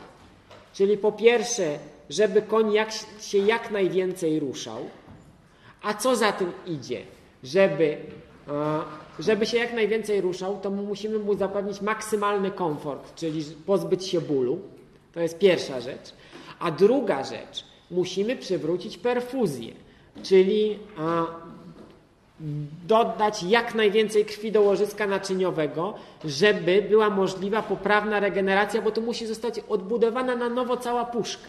Tak naprawdę w idealnych warunkach, gdybyśmy sobie mogli wyobrazić takie hipotetyczne, to najlepsze, co moglibyśmy zrobić, to zerwać taką puszkę w całości, żeby odrosła po prostu nowa. Nie jest to możliwe, no ponieważ to ulegnie momentalnie e, zakażeniu. No teoretycznie moglibyśmy sobie to wyobrazić w warunkach e, stricte sterylnych, klinicznych, że podwieszamy gdzieś tego konia, a on sobie tam wisi i to narasta. Tylko, że to się nie sprawdzi, ty, dlatego, że nie będzie odpowiedniej stymulacji tego rogu w trakcie jak on narasta. Nie możemy e, go zapewnić, no bo jak tego konia na czymś postawimy, on nie stanie taką nogą, na której nic nie ma. W związku z czym to jest tylko hipotetyczna możliwość. My musimy zrobić tak, żeby ta perfuzja była, żeby ten koń chodził, ale żeby mm, nie dochodziło do wtórnego niszczenia nowego wzrostu. Bo zauważcie, że w takiej sytuacji wtórne niszczenie nowego wzrostu jest natychmiastowe, bo co z tego, że tu mamy nowy wzrost, o tyle go jest on narósłby normalnie i byśmy mieli normalne kopyto. Ale tu mamy tak gigantyczną dźwignię, że każdy krok tego konia, odbicie się od tego pazura powoduje natychmiastowe oderwanie tego, co narosło i oderwanie i oderwanie, w związku z czym to kopyto ma wiecznie taki kształt, nie ma szans się zregenerować. Dlatego e, pierwsza rzecz, którą napotykając na taki przypadek musimy zrobić. Tutaj żadne leki nam nie pomogą. Mm, nic nam nie pomoże w tym sensie, e, że nie istnieje lek, który działa antygrawitacyjnie. Za wszystkie te efekty odpowiada grawitacja. E, to jest odrywane, a koń się zapada w oderwanej puszce w dół. Żaden lek tego nie powstrzyma. My jedynie możemy to powstrzymać mechanicznie, zastanawiając się, co tu się naprawdę stało i odpowiednio traktując to kopyto. Oczywiście hmm, Trudno mi tutaj opowiadać, jak to dokładnie zrobić, takie ogólne zasady. E, większość z Państwa tego robić nie będzie. Ci z Was, którzy będą to chcieli robić, e, to być może spotkamy się kiedy indziej przy innej okazji i się tego nauczymy. E, na pewno nie jest to pierwsza rzecz i nie powinna być to pierwsza rzecz, jaką zrobicie przy kopytach w życiu, bo naprawdę wymaga to sporego doświadczenia. Niezbędne nam będzie dobre zdjęcie rentgenowskie. Co to znaczy dobre, o tym sobie za chwilę powiemy. A po co?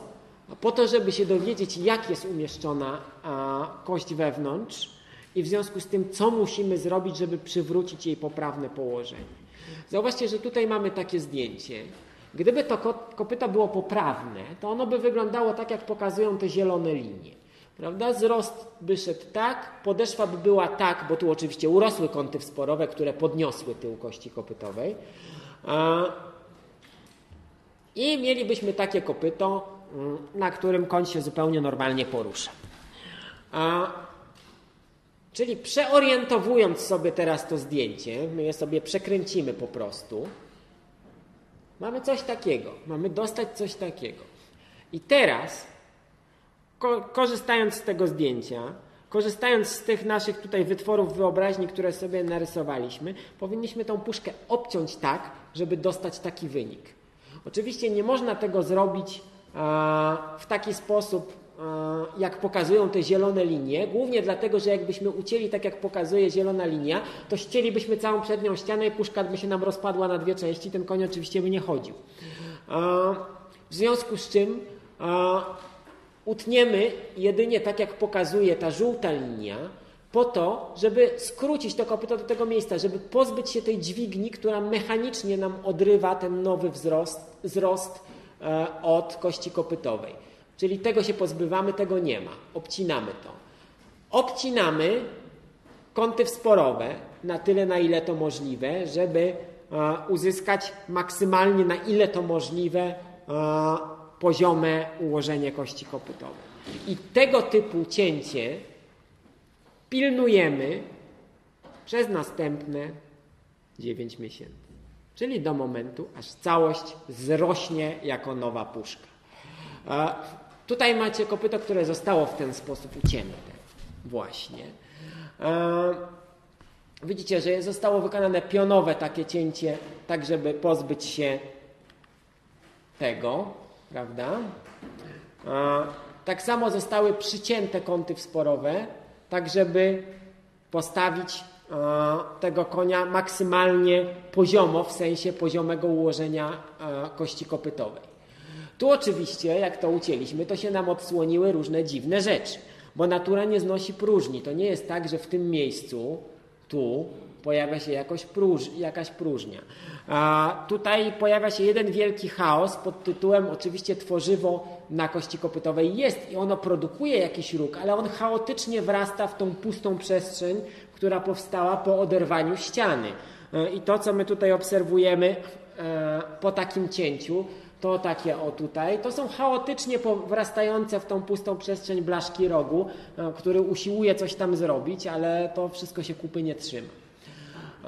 I tego typu ścięcie, i te, takie ścięcie utrzymujemy do momentu, aż całość nie zrośnie. Zauważcie, że jak się dobrze przyjrzycie koronie tego kopyta, to tutaj pojawił się już nowy wzrost. On jest maleńki, tutaj jest go kawałeczek, ale widać pod jakim on jest kątem. Jeśli utrzymamy to, czyli nie będzie tu dźwigni, to to kopyto za, będzie zrastać tak i skończy się za 9 miesięcy, ono będzie miało taki kształt, skończy się tu, będzie zupełnie normalne a, i koń będzie naprawiony. A dobre zdjęcie jest nam potrzebne. Ja takich zdjęć oglądam aż za dużo.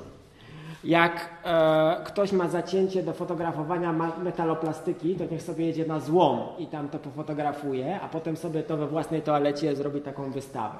Bo to zdjęcie się do niczego nie nadaje. E, z niego nic nie można wyciągnąć. Na dodatek jeszcze przeszkadza ta nieszczęsna metaloplastyka, z której nic nie wiadomo. Dlatego słów parę na ten temat, bo o ile być może nie będziecie dłubać w kopytach, to o tyle na pewno ktoś, kto będzie się tymi kopytami zajmował i będzie miał o tym pojęcie, poprosi Was o dobre zdjęcie. I to dobre zdjęcie musicie umieć zrobić. Co to znaczy dobre zdjęcie? Mm. Dobre zdjęcie to jest przede wszystkim zdjęcie którym kopyto stoi na stabilnym podłożu, dobrze ustabilizowane i dobrze zorientowane. Co to znaczy? Najlepiej jak to jest drewniany klocek, tak jak w tym przypadku, z wtopionym tutaj, gdzie pokazuje ta czerwona linia, bo było za mało wyraźnie widać, z wtopionym na przykład drutem, albo niech tu będzie rowek, który wypełnicie kontrastem. Cokolwiek, co da nam ładną, równą linię podłoża na zdjęciu w postaci kreski, ładnej białej kreski na RTG, coś co intensywnie cieniuje. I na tym orientujemy poprawnie kopyto, to znaczy ta linia musi przechodzić przez środek kopyta. Tu akurat ono nie jest dobrze postawione. E, ma przechodzić przez środek przedniej ściany i wychodzić dokładnie na między piętkami z tyłu równo. To ma być linia strzałkowa tego kopyta. I tak to kopyto ma być ustawione. E, ideałem jest, jak postawi się to tak, jak tutaj mamy na tym zdjęciu. E, I aparat zogniskuje nie tradycyjnie, tak jak się zwykle ogniskuje przy zdjęciach kopyt na koronę, tylko nad samą ziemią. E, kilka milimetrów dosłownie nad powierzchnią gruntu, bo tam nam najbardziej zależy, żeby struktury, które tam nam się pokażą na zdjęciu, były jak najmniej zniekształcone. I w takim ustawieniu robimy sobie zdjęcie. Kaseta bezpośrednio za kopytem, wtedy dostajemy ładne, równe, idealne zdjęcie, z którego możemy coś wyczytać, na którym wręcz możemy sobie coś pomierzyć i te pomiary będą miały odniesienie do rzeczywistości. A to dla strugacza, który będzie się chciał tym zdjęciem naprawdę posłużyć w przypadkach dyskusyjnych, jest niezmiernie ważne. To jest takie zdjęcie. Zauważcie, mamy podłoże. Ono ładnie nam cieniuje, tu jest coś wtopione w ten bloczek. Widać, gdzie ten koń stoi. Mamy zaznaczoną, o tym jeszcze nie powiedziałem, koniecznie musimy zaznaczyć przednią ścianę w linii strzałkowej. Dobrze by było zaznaczyć kąty wsporowe i ideałem by było zaznaczyć koronę. Najłatwiej jest to wszystko zrobić kontrastem. Bierzemy kontrast w strzykawkę, malujemy kontrastem po tym kopycie, to potem ładnie cieniuje na zdjęciu. Jeśli nie macie kontrastu, to przyklejając taśmą klejącą drut do wszystkich tych struktur. Tu jest akurat tak zrobione, że został przyklejony drut. E, zauważcie, że ładnie w związku z tym widać przednią ścianę. Pamiętajcie, że róg nie zawsze cieniuje tak samo, dlatego tak ważne jest, żeby zobaczyć, gdzie on się tak naprawdę kończy i przykleić do drut. Tutaj nie ma na kątach sporowych, ale mamy za to ładnie drut, drucik przyklejony i owinięty do, dookoła korony. Wiadomo dokładnie w związku z tym, gdzie jest korona. I jak wiadomo to wszystkie rzeczy, to można zwrócić uwagę jeszcze na parę innych rzeczy, o których sobie opowiemy. Teraz tak e, powiedzmy odchodząc na chwilę od tematu, ale żebyście wiedzieli na co patrzeć, patrząc na zdjęcie kopyta, co jest tutaj ważne z punktu widzenia tego, czy to kopyto będzie funkcjonowało poprawnie, czy nie. Trzy rzeczy tak naprawdę. Pierwszy wymiar, ten tu zaznaczony na górze, to jest odległość od korony kopyta do wyrostka wyprostnego. Idealnie, w idealnym przypadku ona wynosi poniżej 1 cm. I to nawet czasem grubo poniżej 1 cm. To są idealne przypadki. Jeśli wynosi więcej, to znaczy, że kopyto było poddane jakimś procesom ochwatowym, w wyniku którego kość się w nim zapadła. I to połączenie w związku z tym ze ścianą jest może nie zerwane, ale osłabione. Na pewno jest zbyt głęboko ta cała kolumna kostna zapadnięta, albo raczej paznokieć na nią nasunięty, bo to się zerwało i zrobiło tak. To jest pierwsza rzecz. Druga rzecz to jest grubość ściany przedniej, czyli między przednią krawędzią kości kopytowej a krawędzią ściany przedniej, tą, którą nam drucik wyznacza.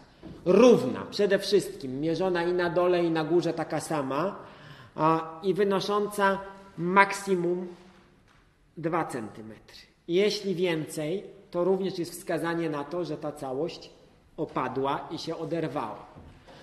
I trzeci taki wymiar, na który powinniśmy zwrócić uwagę, czyli grubość podeszwy. Tutaj przy samym czubku kości kopytowej mierzona powinna wynosić minimum 10 mm. Tak samo centymetr. Jeśli jest cieńsza, to znaczy, że coś jest nie tak. Znów, że całość się zapadła. No albo ktoś uciął podeszwę. Też takie przypadki są. To jest akurat takie kopyto. Wrócimy jeszcze do tego zdjęcia, e, w którym na pierwszy rzut oka widać, nawet nie podając konkretnych wymiarów, Pamiętajcie, że to powinno wynosić w ideale, idealnie mniej jak centymetr, a to więcej jak centymetr. Tu jest odwrotnie. Wyraźnie jest odwrotnie. A to jest kopyto z opuszczeniem kości kopytowej, o czym za chwilę. A, I to takim ewidentnym, widocznym na zdjęciu. Żeby mm, podsumować sobie ten ochwat nasz przewlekły, nieszczęsny, to tak, tak jak powiedziałem, dopóki istnieje możliwość, żeby tego konia przywrócić i uruchomić do ruchu, to jest nadzieja. No zobaczcie, tu jest przypadek taki, że kość kopytowa przebiła podeszwę. Widać ją tutaj wystającą, jest dziura w podeszwie. Zdjęcia widać z kiedy są. No pomimo tego, tego konia udało się uratować i, i przywrócić do pełnej funkcjonalności. Tu macie jak zmieniały się jego kopyta od tego czasu, czyli od e, października 2012. Na początku, w momencie tego, jak była ta dziura w kości kopytowej, została obcięta ta przednia ściana, żeby nie było dźwigni, no i później utrzymywane takie, takie ścięcie do czasu, aż wzrosła ściana przednia, to idzie chronologicznie w takiej kolejności. Tutaj już mamy, że tak powiem, w pełni odbudowaną puszkę. Od spodu może nie widać wiele zmian. Zobaczcie od boku. To jest z kolei tak, tak, tak, tak. Tam się zaczyna nowy wzrost i on jak widać schodzi poniżej. Tutaj miał miejsce taki epizod, że ta część w tym momencie odpadła w całości. Został do tego taki krawędź, odpadła w całości odsłaniając żywe tworzywo. Było widać listewki tworzywa. Ale dzięki nieprawdopodobnemu zbiegowi okoliczności, ponieważ właściciel akurat nie należał do tych, którzy specjalnie chętnie współpracują, udało się, że nie doszło do zakażenia i całość puszki zrosła. Tutaj widać już, że to się zamknęło, puszka zrosła. Oczywiście ona nie jest jeszcze piękna, ma dużo takich zaburzeń, mogłaby by być znacznie mniej, gdyby właściciel bardziej się przykładał na przykład e, do diety, a nie dawał tym koniom żreć co popadnie, bo jakoś to będzie. Natomiast no, z biegiem czasu ona się na, pewno wyrówna i dostaliśmy zupełnie normalną puszkę z sytuacji, gdzie e, mieliśmy przebitą podeszwę i właściwie ten koń no, nie rokował. Należało go uśpić w opinii, co po niektórych. A to tak jakby nam zamyka e, temat ochwatu jako takiego. Natomiast jeszcze jedna połączona z tym rzecz, która występuje nagminnie, niestety, a jest bardzo rzadko diagnozowana i jest źródłem wielu nieszczęść i problemów, a mianowicie opuszczenie kości kopytowej. Co to jest? To jest coś takiego jak ochwat, w tym sensie, że to połączenie uległo uszkodzeniu i zniszczeniu, z tym, że to nie jest zniszczenie ani toksyczne, ani na skutek działania insuliny, a wyłącznie mechaniczne.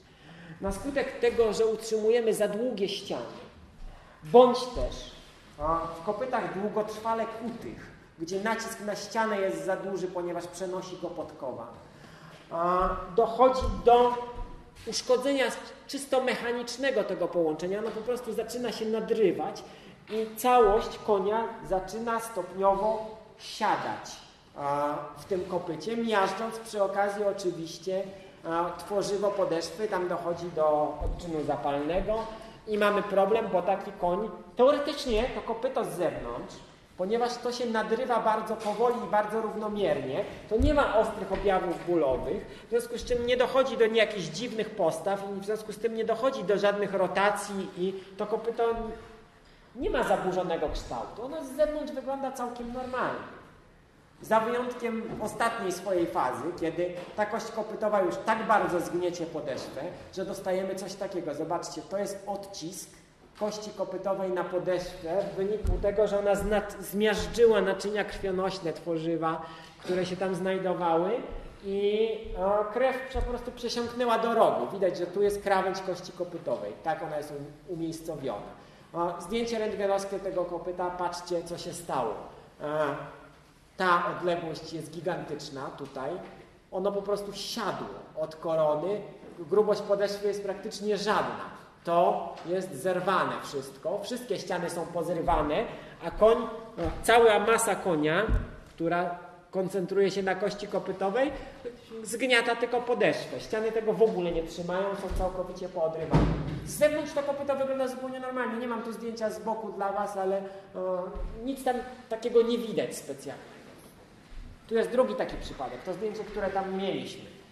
A, zauważcie, tu jest z boku. Zauważcie, to kopyto z boku wygląda jak najzupełniej normalnie. Natomiast zobaczcie, że od spodu posiada tutaj taką dziwną krawędź na podeszwie. I tak to wyglądało parę miesięcy przed tym zdjęciem, kiedy to nagle okazało się, że ta podeszwa pękła.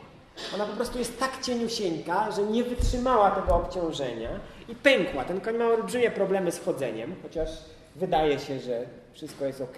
Nie jest w stanie e, zrobić, poprawnie chodzić, dlatego że cały jego ciężar spoczywa na tej podeszwie.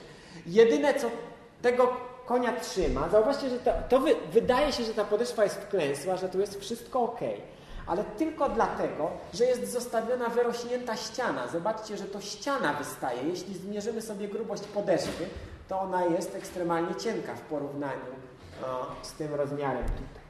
No i niestety opuszczenie w odróżnieniu od ochwatu rehabilituje się paskudnie. bardzo wiele zależy od szczęścia. Rehabilituje się paskudnie dlatego, że tu wszystko jest oderwane. Nie możemy nic przekontować, żeby tego konia inaczej ustawić i wszystko będzie dobrze. Tylko musi zrosnąć cała nowa puszka w sytuacji, kiedy cały ciężar konia jest przeniesiony na podeszwę i ta podeszwa musi to utrzymać. Żeby to było możliwe, żeby zrosły nowe ściany, musielibyśmy pozbawić te ściany obciążenia żeby się nie odrywały mechanicznie, ale jak je pozbawimy obciążenia, to już 100% ciężaru tego konia będzie na podeszwie, która tego absolutnie nie wytrzymuje. Więc tutaj jedyną możliwością jest zapakowanie takiego konia w odpowiednie buty z odpowiednimi wkładkami na odpowiednio długi okres czasu, po to, żeby to mogło zrosnąć. Czasem to się dzieje nadzwyczaj szybko, natomiast czasem to trwa wieki, naprawdę paskudna sprawa. Tutaj, dla przykładu, to niekoniecznie musi dotyczyć całego kopyta. Tutaj mamy jednostronne opuszczenie kości. Z kolei jest zdjęcie z frontu. A zauważcie, porównajcie sobie tą przestrzeń tu, a tu. A prawa strona na tym zdjęciu jest zerwana. Jest opuszczona ta kość, a znajduje się niżej w puszce, nie jest poziomo. I w związku z czym to jest dokładnie taka sytuacja jak na tym schemacie tutaj, bo tutaj jest to na rysunku. No i teraz e, to jest po rehabilitacji. Zauważcie, że te przestrzenie się jak najbardziej wyrównały. Ta kość, że tak powiem, została wessana tutaj i przyrośnięta poprawnie do ściany. Dlaczego ten przypadek go chciałem pokazać? Ano dlatego, e, że e, zalecenie tutaj było dokładnie odwrotne niż logika nakazuje i na całe szczęście właścicielka tego zalecenia nie posłuchała. A mianowicie a, zalecenie było takie, że skoro ta kość jest umiejscowiona tak, to należy pozwolić tej ścianie wyrosnąć, żeby ją podnieść i kość wyrównać i wtedy wszystko będzie w porządku. Oczywiście, gdybyśmy tak zrobili, pozwolili tej ścianie wyrosnąć, żeby tą kość wyprostować, no to to by się tym bardziej odrywało, bo by była dźwignia i to opuszczenie by się nigdy nie zrehabilitowało. W związku z czym e, na szczęście zrobia, została zro, zrobiona całkowicie odwrotna rzecz, a mianowicie kopyto zostało pozbawione tej ściany. E, po to, żeby ona mogła narosnąć poprawnie przyrośnięta, e, no i ta kość zostać wessana e, tak, jak być powinna. Warunkiem oczywiście jest, tak jak mówiłem, dobre zdjęcie. Dobra, to nam wyczerpuje mm, w całości. Oczywiście, no może nie w 100% o tym ochwacie można by jeszcze mówić i mówić, ale tyle, ile mamy powiedzieć o ochwacie. Syndrom trzeszczkowy. W cudzysłowie specjalnie bo to taki duch, który straszy. W zasadzie, moi drodzy, tego nie powinno być i tego się nie powinno diagnozować, bo czegoś takiego nie ma.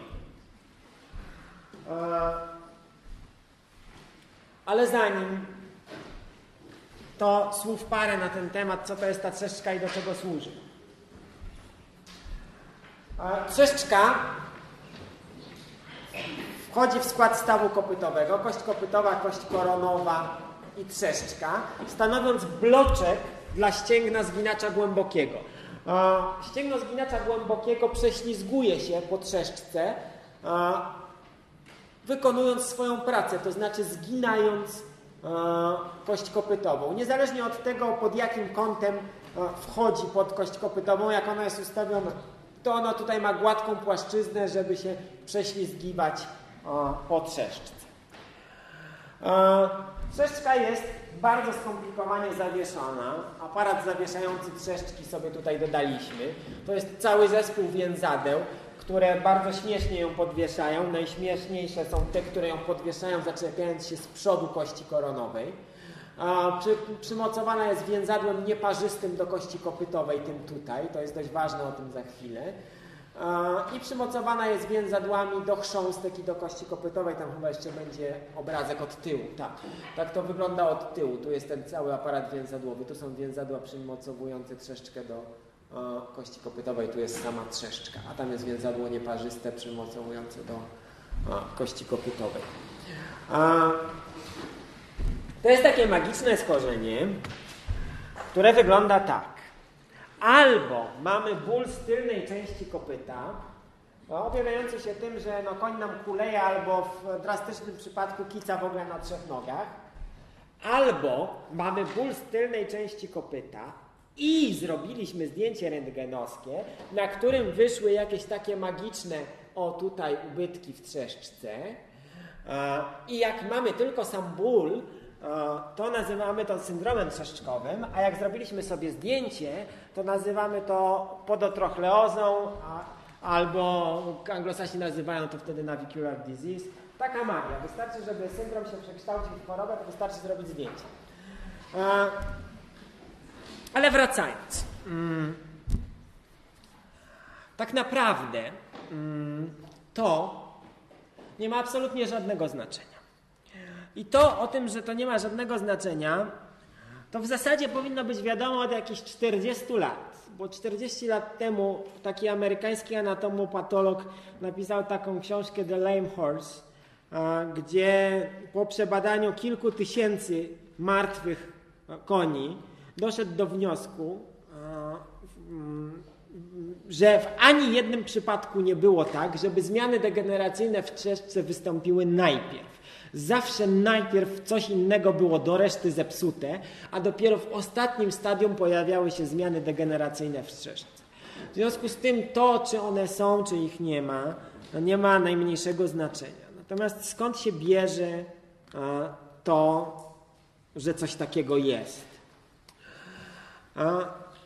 To ma swój powód czysto, ale to czysto mechaniczny.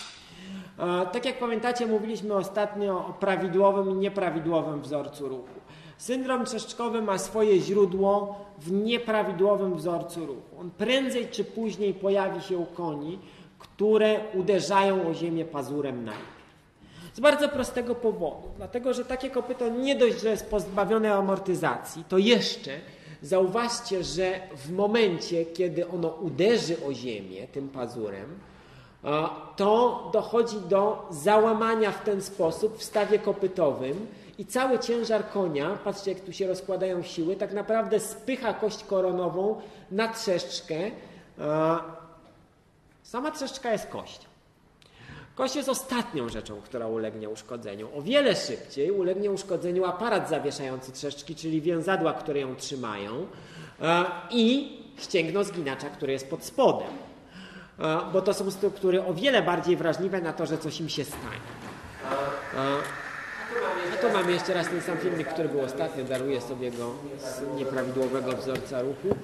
Natomiast w syndromie czeszczkowym oprócz tego bardzo często jeszcze w takich kopytach czeszczkowych mamy do z drugą taką rzeczą, nie o nieprawidłowym wzorcu ruchu, a mianowicie z położonymi kątami wsporowymi. Co to jest, Co to jest takiego magicznego? A mianowicie, a, normalnie, jak patrzycie na, na puszkę kopytową z boku, a, korona. powinna być. linią. I tak jest, jeśli kopyto Ma zachowany naturalny kształt, to pozwolę sobie bo tutaj nie wpadłem na to, że nie ma zdjęcia, ale mam je tu. Ma zachowany naturalny kształt, czyli ściany boczne nie są obciążone. To jest podparte w trzech miejscach, na pazurzeniach, kontakt sporowy. Natomiast jeśli ściany boczne są zostawione za długie, co ma niestety permanentnie miejsce w kopytach kutych, ponieważ do czegoś trzeba przybić podkopę i ściany boczne nie stanowią tego takiego łuku, tylko są płaskie, to w momencie uderzenia o ziemię ten łuk nie może pełnić funkcji amortyzacyjnej i się rozpłaszczyć. Ale to nie jest tak, że przestają działać siły, które prowadzą do rozpłaszczenia tego łuku. One dalej działają, tylko zamiast rozpłaszczyć łuk, wypychają istniejącą tam ścianę do góry, wypychając koronę w łuk. Jeśli ta ściana nie może się ugiąć w dół, to jest wypychana do góry i wypycha w łuk koronę. Kopyto, które ma na trwale wypychaną koronę w łuk, zaczyna rosnąć w ten sposób. Dlatego, że łuk, który, a, przepraszam, róg zawsze rośnie prostopadle do korony. W kopycie, które jest, a, ma tak ukształtowaną linię korony, zauważcie, że kąty sporowe zamiast rosnąć w dół, zaczynają rosnąć do przodu i całe kopyto wyjeżdża do przodu. Zauważcie, że one są położone. One zamiast podpierać konia tu z tyłu, tutaj gdzieś go podeprzeć, wyjeżdżają do przodu i zaczynają być w tamtej okolicy. Dzieje się coś takiego. Mm. Zamiast być tak, jak pokazują te niebieskie kroki, one wyjeżdżają do przodu, ale ponieważ puszka jest sztywną strukturą, to one zaczynają pchać też całą puszkę do przodu. Pazur w związku z czym też wyjeżdża. I takie kopyta, jak popatrzycie sobie na nie od spodu, na wygląda tak, jakby się rozstało ze swoją strzałką. Puszka sobie, wyrośnięta gdzieś do przodu, a strzałka gdzieś tam została z tyłu. Ponieważ to powoduje, że pazur jest za długi, a takie dodatkowe położone kąty sporowe bardzo zachęcają konia do nieprawidłowego wzorca ruchu, a mianowicie do uderzania palcem najpierw. Dlaczego? Ano dlatego, że ruch jest zbudowany z rureczek, które rosną prostopadłe od korony. Rurka doskonale przenosi obciążenia tak, ale fatalnie tak. W związku z czym te rurki w takiej pozycji są non-stop i obciążanie tak położonych kątów sporowych jest dla konia bardzo bolesne. On będzie tego unikał i zmieni mechanikę ruchu na niepoprawną. I to jest źródłem wszystkich naszych problemów.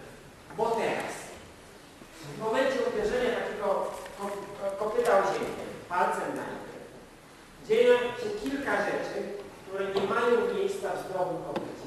To już mówiliśmy, że no, po pierwsze, pamiętam, było dwa slajdy wcześniej, że kość koronowa zaczyna cisnąć na trzeszcz. Po drugie, dzieje się coś takiego. Zauważcie, że ten koń idzie do przodu. W związku z czym jednocześnie uderzył pazur, jednocześnie są do, dociskane do ziemi piętki, ale nadpęcie idzie już do przodu, bo koń zaczyna się przesuwać do przodu. W związku z czym ścięgno zginacza podwórkiego zaczyna być rozciągane równocześnie w obu kierunkach. Na bloczku, na trzeszczce kopytowej ono jest ciągnięte w tą stronę, a na trzeszkach pęcinowych ono jest ciągnięte w tamtą stronę. Ono fizjologicznie nigdy nie jest rozciągane w obu kierunkach. Bo oczywiście je bardzo nadwyręża i doprowadza do tego, że ono może ulec uszkodzeniu. Gdzie? Najłatwiej w miejscach, które po coś trze, czyli na przykład trzeszczy. To jest jedna rzecz. Druga rzecz. Mamy położone kąty sporowe, które wypychają pazur do przodu, czyli pazur jest za długi. Jeśli pazur jest za długi, to mamy opóźnione przełamanie. Co to znaczy? Jeśli pazur jest normalnej długości, to w momencie, kiedy tył kopyta zaczyna odrywać się od ziemi, ścięgno zgnięcia głębokiego wchodzi pod kość kopytową pod mniej więcej kątem prostym. Tak to jest skonstruowane. Natomiast jeśli mamy za długi pazur, to on nie pozwala się oderwać kopytem. Jak ja mam tak skonstruowaną dłoń, to ją oderwę, ale jeśli ona będzie tak, to potrzeba o wiele bardziej się przesunąć, żeby ją oderwać. W związku z czym tutaj, jeśli pazur jest za długi, do, w momencie oderwania ścięgno zginacza głębokiego wchodzi pod kość kopytową pod kątem ostrym, a zatem zaczyna dość mocno uciskać na trzeszczkę z jednej strony, a z drugiej więzadła przymocowujące ją tutaj do kości końcinowej a, zaczynają być naciągane. One nigdy nie są tak naciągane. To powoduje, że prędzej czy później one ulegną uszkodzeniu. I to właśnie to jest przyczyną czegoś, co nazywamy syndromem trzeszczkowym. Uszkodzenie któregoś z więzadeł zawieszających trzeszczkę jako pierwsza rzecz. Ideałem do diagnostyki w związku z tym, gdyby ktoś się chciał posługiwać nowoczesnym sprzętem, jest rezonans magnetyczny. Bo tylko on nam dobrze pokaże, co tam tak naprawdę się stało. Jak już są dziury w trzeszczce, no to w ogóle nie ma żadnego znaczenia jeszcze z innego powodu. Są konie, które mają dziury w trzeszczce i doskonale chodzą i gdyby ktoś przypadek nie zrobił, przypadek nie zrobił zdjęcia, to by nikt o tym nie wiedział. I są konie, które skaczą na trzech nogach i nie mają żadnych bo w ogóle ona uszkodzenie, bo akurat ulega uszkodzeniu samego języka. Dlaczego zatem trzeszczka ta nieszczęsna ulega uszkodzeniu i skąd to się dzieje? A, zobaczcie, jak trzeszczka jest naczynią. Całe zaopatrzenie odżywcze do trzeszczki dociera naczyniami krwionośnymi stąd. Teraz sobie zobaczymy to od dolnej strony. Stąd i tu z góry. I jedne i drugie przechodzą przez więzadła. Te przechodzą przez więzadło nieparzyste trzeszczki, te przechodzą przez te dwa więzadła, które przymocowują ją tutaj do kości tęcinowej. Jeśli którekolwiek z tych więzadeł ulegnie uszkodzeniu, ulegają również uszkodzeniu naczynia krwionośne, które przepływają. Zatem jest upośledzony, e, upośledzony dom substancji odżywczej do trzeszczki. Tutaj zobaczcie, od spodu, jak to zaopatrzenie trzeszczki. Tak, idą tętnice i one tutaj wchodzą w więzadło niewadziste trzeszczki i do trzeszczki. A w związku z czym mm, w tych miejscach, gdzie mamy uszkodzenia tych naczyń i one nie są w stanie zapewnić odpowiedniego odżywienia kości, zaczyna się jej liza, bo ona jest niedożywiona. No i dostajemy te tam takie ładne lizakowate dziury. Ale to już jest efekt, a nie e, przyczyna. To nie jest dziur, się zbierze syndrom trzeszczkowy, tylko to jest tak jakby manifestacja na RPG tego, co się stało. E, natomiast syndrom trzeszczkowy oczywiście, jak każde z magicznych stworzeń, rehabilituje się stosunkowo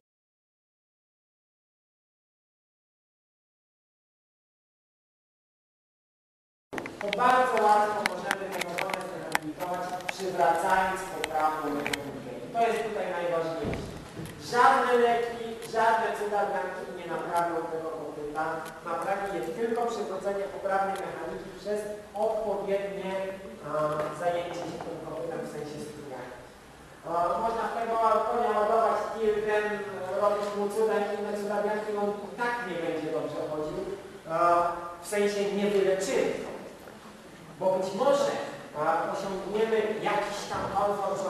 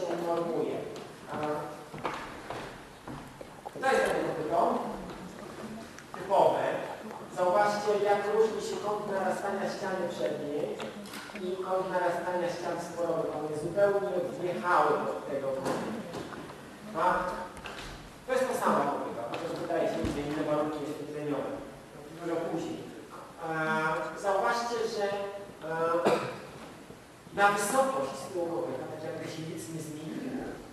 Natomiast po pierwsze mamy nieobciążone ściany boczne, po drugie widać, że kąty sporowe wstały. Widać dzięki temu, że to kopyto jest paskowane. Zobaczcie, że kąt wzrostu tego rogu tutaj jest dokładnie taki sam jak ściany przedniej.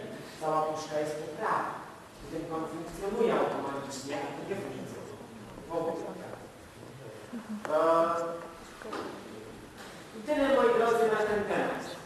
Eee, Ponieważ eee, chyba spotykamy się po raz ostatni.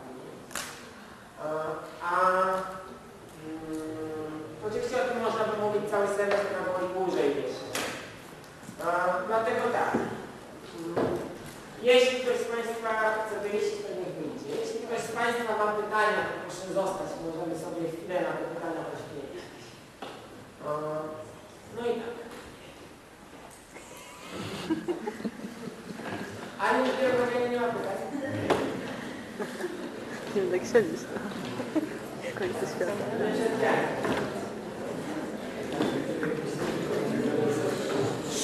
Ko. A czy także Jakie było pytanie?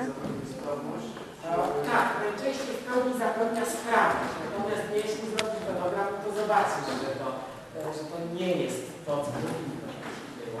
E, Ona będzie, będzie e, czasem będą bardzo śmieszne wzory na przykład. One nie odtworzą się tak jak, jak były, nie, nie będą na przykład symetryczne. Natomiast e, zapewnią zapewnią funkcjonowanie. To zupełnie sprawne. Że mówię, farmakologicznie to jest do rozróżnienia, ale sprawność to Jeszcze też zależy jakiego stopnia to było na przykład. No, jeśli bardzo ciężko, gdzie u lewo uszkodzenia na przykład 80% było ustawicznego, no to trudno oczekiwać, żeby to wszystko się zagrało. Będzie się. E, Ale w większości przypadków daje radę.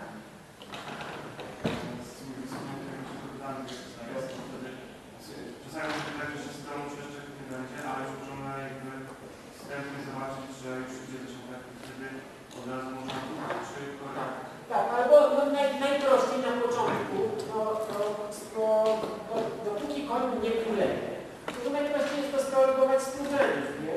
No, w ten sposób, żeby przywrócić poprawną mechanikę. Może się okazać, może się okazać, że ta niepoprawna mechanika jest skądś inna. Niekoniecznie e, położyły się kąty sporowe, ale jeśli się położyła, to wpłynna, a być może na przykład z głębokiej, dawno nieleczonej infekcji strzały, która gdzieś tam jest i która powoduje, że was nie chce odciągnąć. I tak bardzo często jest? W takich infekcjach, które właśnie są długo nieleczone, a potem są zaleczone powierzchownie, albo ktoś tam posmarował jakieś cudowne wizualnie jest lepiej. Natomiast najczęściej e, tacy grzybice. Natomiast w środku e, jest jedna wielka czarna dziura. Taki, że wewnątrz kawałek strzałki okazuje się, że to się. Nie że tylko nie chce tego bo e, tak się doliczyło.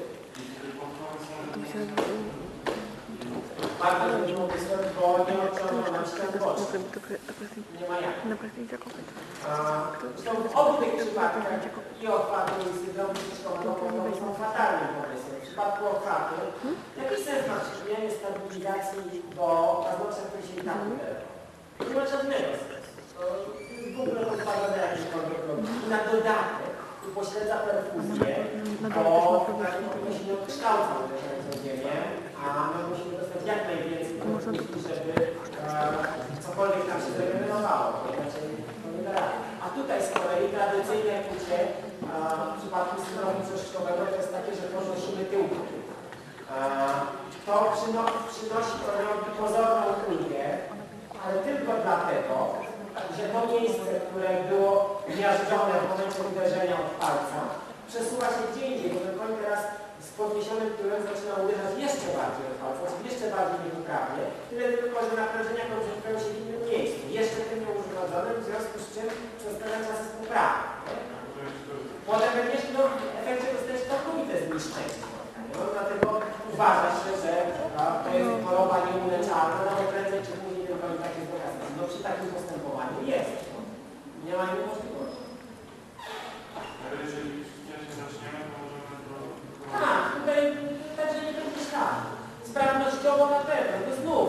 No, jak coś tam zaprzęgniesz odpowiednio dobrą diagnostykę do pracy, no to zobaczysz, że tam coś kiedyś było. Nie? Ale no, nam chodzi głównie o o sprawność. Bo jeśli z zewnątrz to będzie trzeba. No po co? No jakoś to sobie nam poradziło, się naprawiło i to jest istotnie, a nie no, czy tam to wydarzyło jest grubsze o tam znaczenie. A ja mam takie pytanie z innej beczki.